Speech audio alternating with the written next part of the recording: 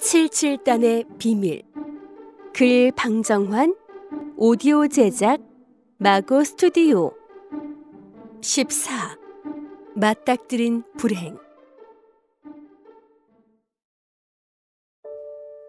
중학동 354번지 외삼촌 댁 안방에서 지옥에서 극락으로 나온 것 같이 마음을 놓고 있는 순자와 상호는 외삼촌 댁 아주머니가 장 속에서 내어준 사진을 보고 있었습니다. 사진은 상호와 순자가 아버지와 어머니의 무릎 위에 앉아서 박힌 상호의 집 가족 사진이었습니다. 상호는 그래도 아버지의 무릎 위에 앉아서 의젓하게 박혔는데 순자는 걸상에 앉으신 어머니 무릎 위에서 내 활개를 내뻗치고 입을 벌리고 울면서 박혀 있었습니다. 기억도 없는 부모의 얼굴을 16, 14살에 처음 보는 서름. 불쌍한 온우이의 눈에서 커다란 눈물이 낙숫물같이 뚝뚝 사진 위에 떨어졌습니다.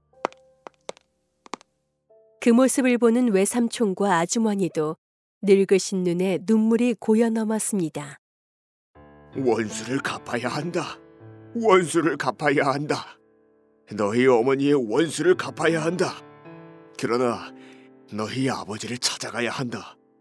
중국으로 가셨는지 미국으로 가셨는지 도무지 소식을 모르는 외롭게 헤매는 너희 아버지를 찾아야 한다. 너희 아버지도 지금쯤은 차차 늙기를 시작할 텐데 너희들 생사도 모르고 지금 어디서 편히나 계신지 하루바삐 너희 아버지를 찾아야 한다. 말씀하는 외삼촌 노인도 울음에 떨리는 소리거니와 듣고 있는 두 오누이의 눈에서는 그대로 눈물이 비오듯 하였습니다. 오냐, 이 원수는 죽어도 갚고야 죽는다. 하고 상호가 속으로 맹세하느라고 비오듯 하는 눈물에 젖은 입술을 단단히 깨물고 있었습니다.